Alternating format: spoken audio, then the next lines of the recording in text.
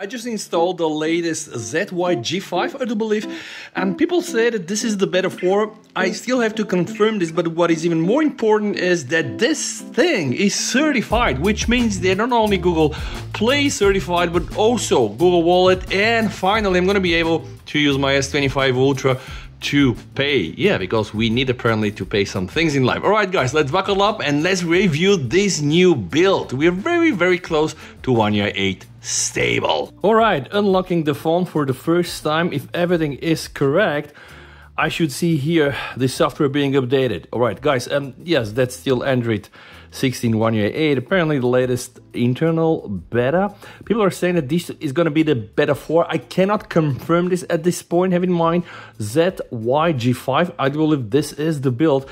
Funny enough guys when i do use check checkfirm to check i'm not able to see this build there. It still says the latest test firmware the BYOE G3 and then the latest official A1F4. But believe it or not, this is a newer build. I'm going to show you now my software information. It's still One UI 8, the Android version is 16, the Google Play System update from the 1st of May, but the version here is indeed uh, ZYG5. And you can see now my phone has been updated. Now let's check some other things. Android security patch level from the 1st of July. And now the biggest question, guys, what is going to happen when I want to check, you know, if my build or my phone is certified? Device is still not certified. All right, some people said that it is. Apparently mine is not. I'm gonna try to use this hack now. Yeah, device checks complete. So finally, this device is Play Protect certified. And guys, the only way this works is if Samsung themselves certify this build on the server with Google. And why I'm happy because right now it seems that I can or I'm going to be able to run Google Wallet. And yes, this device doesn't meet security requirements, but I'm just thinking what I'm going to do right now here is I'm going to go inside here and I'm going to try to close or force stop the Google Wallet.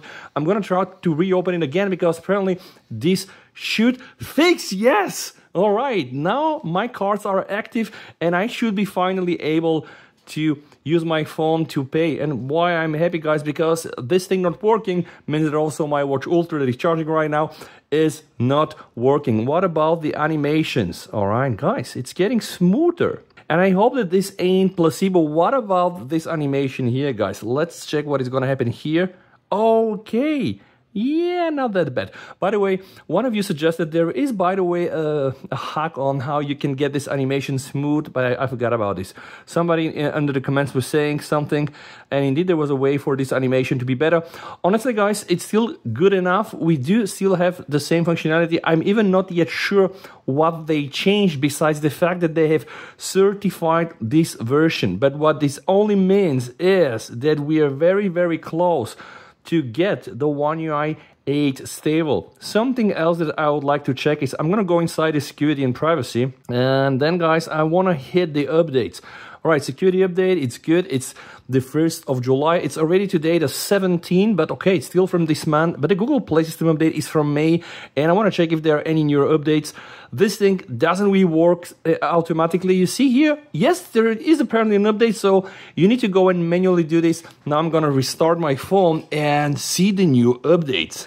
I managed to restart my phone. Now guys, if you have been following my channel or you've been checking the famous thread like on XDA, you would have known that the previous version ZY-G3 had a very annoying bug and we're not sure if this when the phone goes from the mobile network to the Wi-Fi, but the phone will force cycle and restart sometimes even like 20 times in 10 minutes. Crazy, really crazy. I was absolutely, oh my God, I cannot even tell it. I'm just having some calls and boom, my phone will restart. Now, something that I was able to check online, people are saying that in this new version, the ZY-G5, apparently Samsung removed some things they removed the adaptive clock on the lock screen. But what does this mean? Let me show you. I'm gonna go now inside the suggested images. Let's go and try to use a suggested wallpaper. All right, so, all right, let's just go and use an image that is okay. Okay, I'm gonna use my cat. So, in the previous version, in the ZY-G3, uh, what the heck? Is this not an adaptive clock? I'm not sure. Yeah, I mean, yeah, it looks pretty adaptive to me. But what happens if we want to try to change the colors? Still works.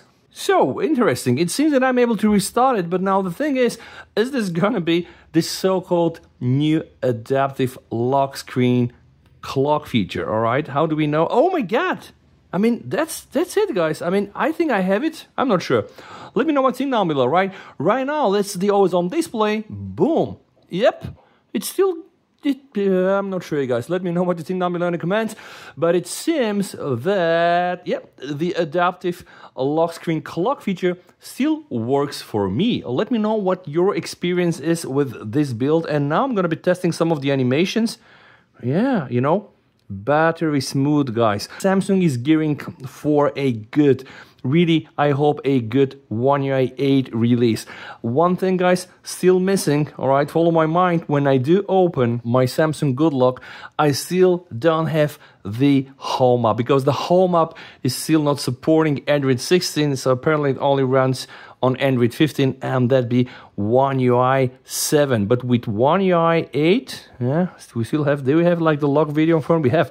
With One UI 8, guys, we really hope to finally get also Home Up and everything else. I'm not sure if the Home Up is going to be ready for the first stable build. My expectation is, and I'm speculating, probably not probably Samsung I'm gonna need a bit more time in order to make this fly but oh boy you can see oh did I see something else? If I try to move the icon, yeah, I have these points here like exactly in the new Samsung DeX. And you can, by the way, check my new One UI 8 Samsung DeX.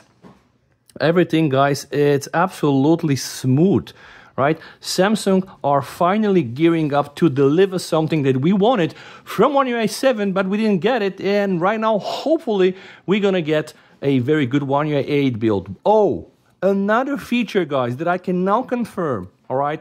I can now confirm that the new, you know, now brief like speaking aloud speech function isn't there, which which existed before in the ZY G3. So, right, the adaptive clock on the lock screen is here for me, right? but I can see changes also the colors, but it seems that they have removed uh, the now brief talking feature. So, is this like one step ahead and two steps back? I don't know, but for me, this thing really is very, very smooth and I kind of like it. So, guys, let me know what you think down below in the comments. The best thing about this is that the beta is finally certified certified. So is the ZY-G5 uh, the beta 4? I cannot confirm. People say it is, but I cannot confirm this. It might be as well another like test build. Nevertheless, guys, it's a new test build. It could be internal, could be not. I'm not sure.